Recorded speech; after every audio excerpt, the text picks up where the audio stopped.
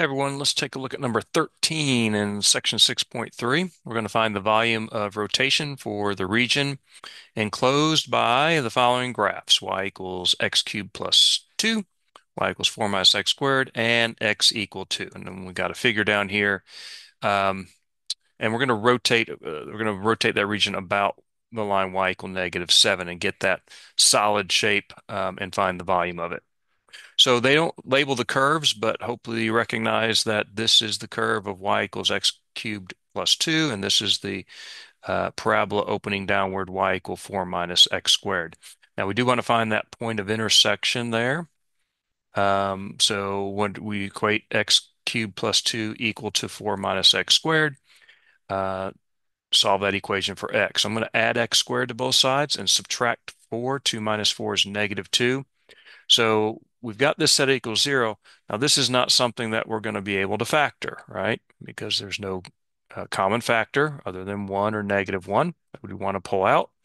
And um, you know, this is not x squared plus something x minus two. I can't factor it as a uh, product of two binomials. So, um, you know, go back to uh, polynomial equations. What can we do? We can try and see if we can find a zero um, you can use the rational zeros test, uh, which the coefficient of x cubed is 1.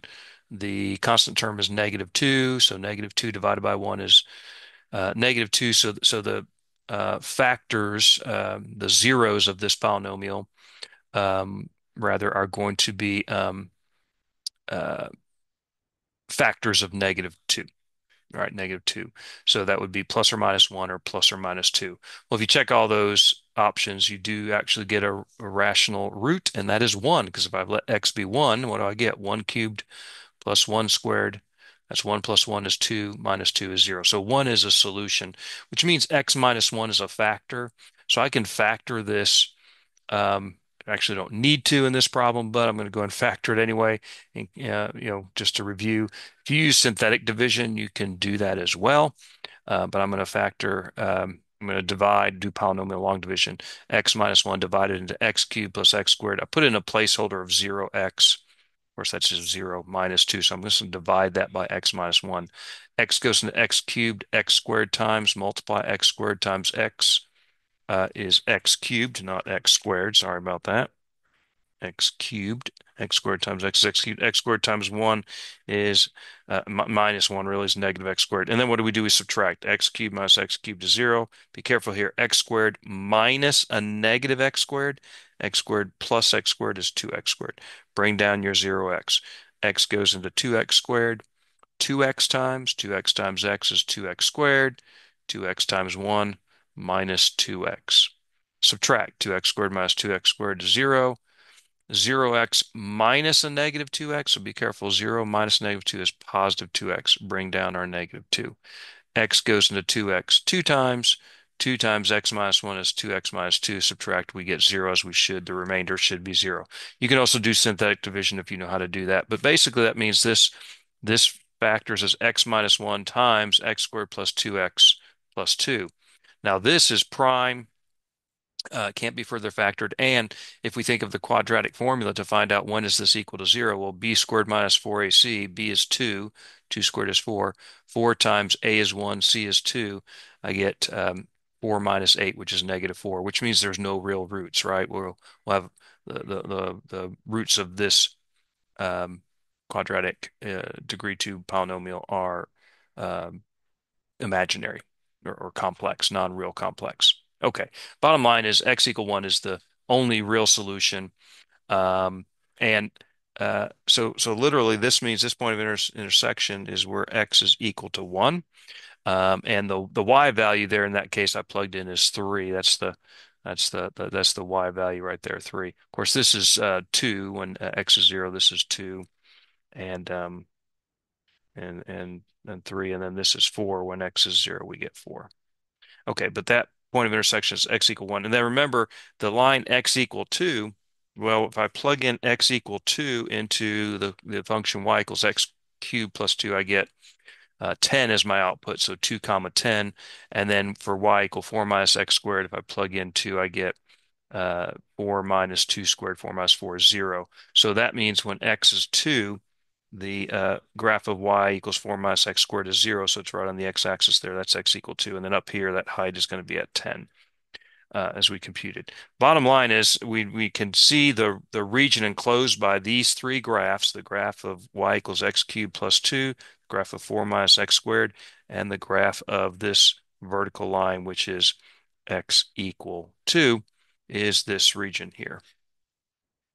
Okay, so taking that region, and we're going to rotate it right about the line y equal negative 7, so way down here.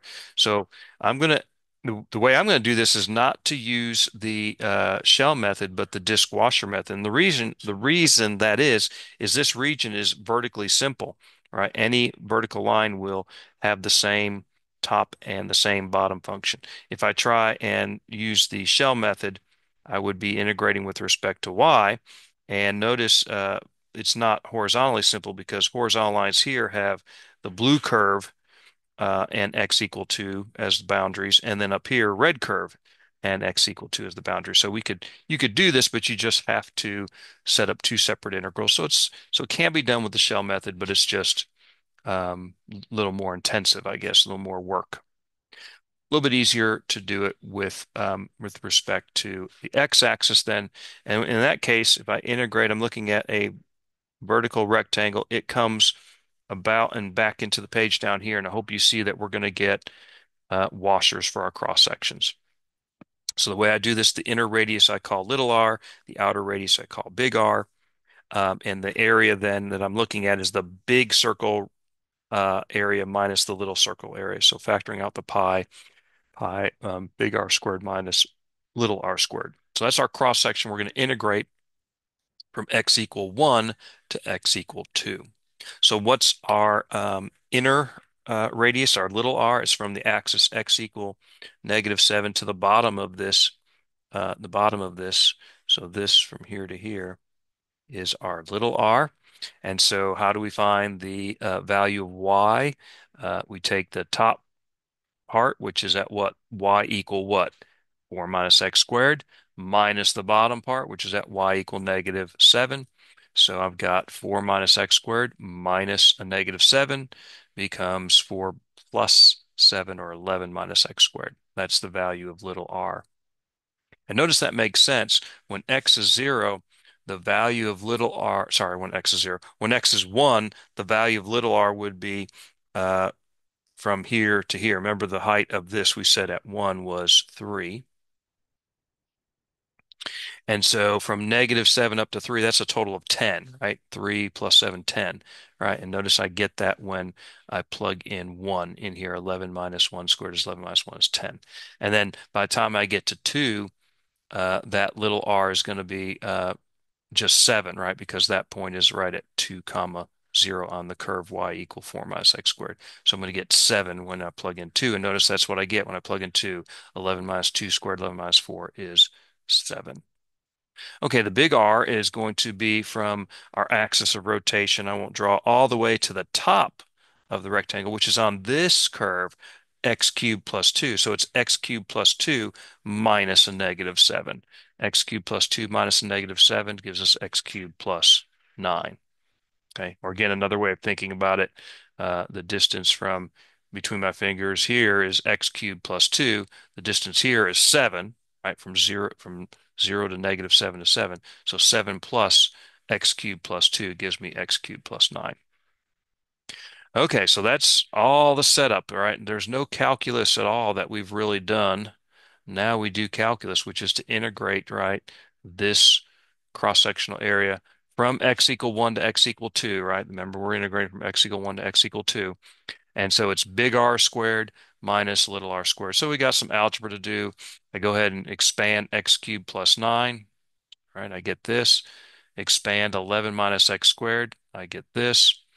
Distribute this negative through, right? Changes all the signs there. Combine any like terms, which there's only constant terms, but I've got x to the sixth minus x to the fourth, 18x cubed minus a negative plus 22x squared and then I have 81 minus 121 is negative 40. So that's what I'm integrating. The antiderivative is 1 seventh x to the seventh minus 1 fifth x to the fifth. Uh, 18 fourths or 9 halves x cubed, uh, and this is 22 thirds x cubed. No, sorry, that should be x to the fourth. Sorry, sorry, sorry. I'm just going too fast. That should be 18 x to the fourth over 4, 9 halves x to the fourth. This is 22 thirds x cubed. And then the antiderivative of 40 is 40x. Okay. Uh, a little bit of uh, arithmetic, to, arithmetic to do here. plug in x equal 2, plug in x equal 1, subtract. You can use technology to help, perhaps, uh, but your simplified fraction is 19,063 divided by 210. Don't forget times the pi. And there is our uh, volume for this solid, which I'm not going to try and draw, but um, hopefully this is helpful.